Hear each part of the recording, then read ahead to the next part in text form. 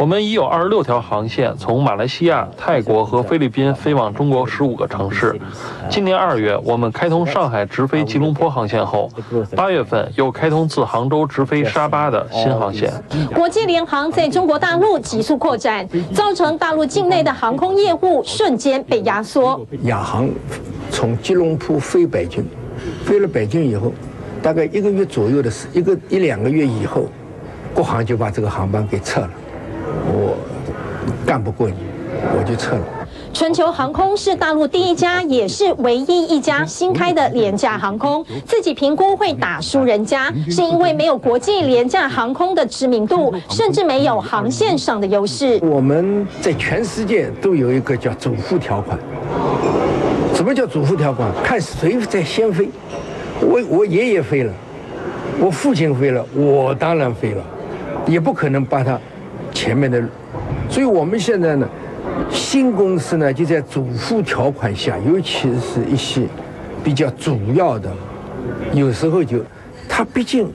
这个主副条款还现实在这里呢。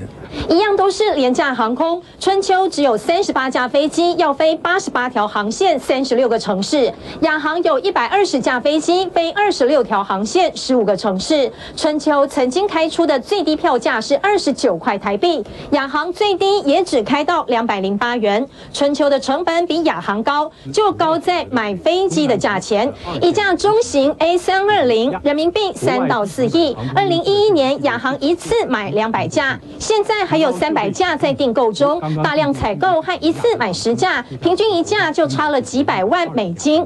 春秋没办法拼，只能从别的地方省，所有的飞机清一色只买机型同款，省了维修成本，也不需要有特殊人员培训，要省机场使用费，只降小机场，避开大机场。像这种高档的空桥就不租了，安排车子把人接过来，只需要租个小。梯子让旅客登机，人力成本算盘也要打得精。柜台的订票业务通通交给网络搞定，不提供免费的行李托运。上飞机前只有座舱长跟你打招呼，就定位后报纸杂志没有，机上餐饮没有。万一飞机误点，赔偿费抱歉也没有。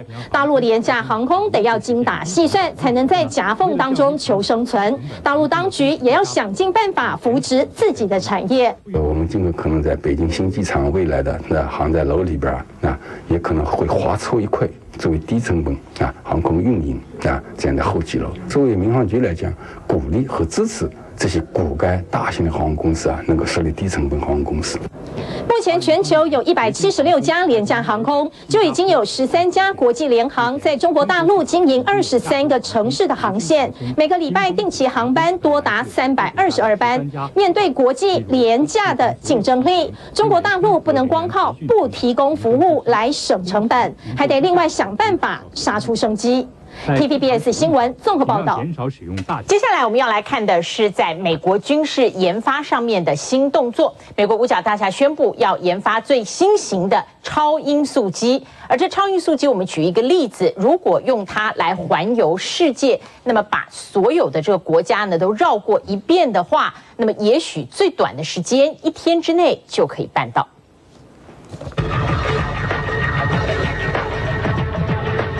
缓缓滑出机库，黝黑的机身，两旁的机翼各搭载一颗庞大的引擎，这就是美国近代飞行传奇 SR-71 黑鸟侦察机。喷着长长的火焰，昂首起飞，一飞上青天就全速冲刺。六零年代问世的黑鸟侦察机是世界上有人驾驶的最快速飞机，最高可以飞到距离地面二十五公里，没有人追得到。最快可以飙破音速三倍，主要用于军事的侦察功能。特殊的黑色涂装跟超大的引擎设计，让军事迷印象深刻。一九九八年永久退役后，留下了许多飞行记录。现在黑鸟侦察机的飞行传奇，很快就将后继有人。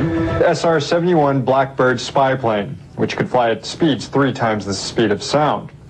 I introduce you now to the SR-72, the soon-to-be developed hypersonic spy plane that can fly at six times the speed of sound. 编号是 SR 七十二，传承的味道很浓厚，最快飞行速度上看六马赫，比 SR 七十一还要快上一倍，能够在起飞一个小时内抵达地球上的任何目标。除了勤搜侦察功能外，甚至还可以肩负轰炸的打击任务。最快将会在二零一八年问世，不过造价不便宜，预估第一架的原型机恐怕要花将近十亿美元，和台币三百亿。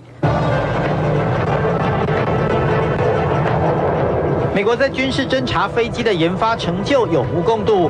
五零年代的 U-2 高空侦察机在全球各地监控共产国家的活动。接着黑鸟侦察机飞得更高更远，缔造了许多飞行记录。这回公开研发中，速度更快的 SR-72 超级侦察机，也凸显美国在军事研发上的超强实力。TVB 新闻纵报道。Only the ultimate in luxury and performance, deserving the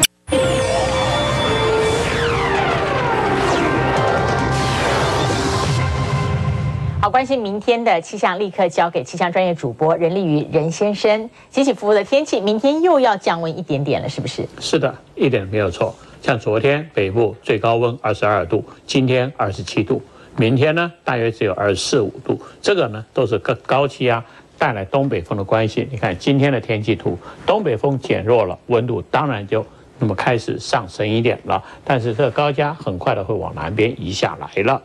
那么，所以说明天，你看这明天的预测天气图咯，东北风下来了，所以我们刚刚讲温度会下降一点，但是这个不是很强，而且呢位置比较偏向于东边，不是冷空气直接扑过来，降呢比较少一些，而且很快就会过去了。我们再来看后天呢，这是礼拜五哦，后天呢，那么移出去了，东北风呢没有了，你看这条线等压线来看变成东风了，所以说礼拜五温度上升了。一上升呢，这下升的会比较久一点，一直会升到礼拜天了。那么一直到礼拜一才会有东北风下来，温度下降的。所以未来这几天，你看，明天温度降一点，后天升一点，周休假期这两天白天都是热的。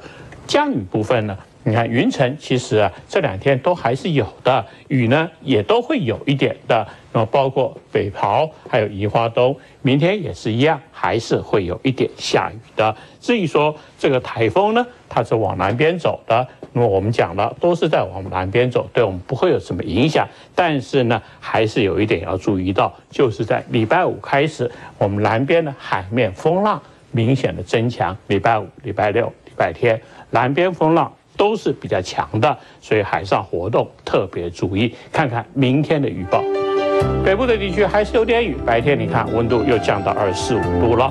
中部呢，二十七、二九没有什么太大的影响，仍然晴到多云。南部的地区同样二九、三十度，那么也都是晴到多云了。东台湾也有一点影响，也会下一点雨的。外岛三个地方呢，都是晴到多云的这种天气。所以说，这种变变化主要还是北台湾比较明显的。雨呢也是一样，北台湾东边比较多一点的，早晚是比较凉的。礼拜五以后温度会上升了，到礼拜一会明显的往下降了。这一次呢，礼拜一降的会比较凉一点了。当然还有一点，南边的风浪比较大，这到时候特别注意。你喜欢海边活动，一定要特别注意。礼拜五风浪就大了，这就今天的气象。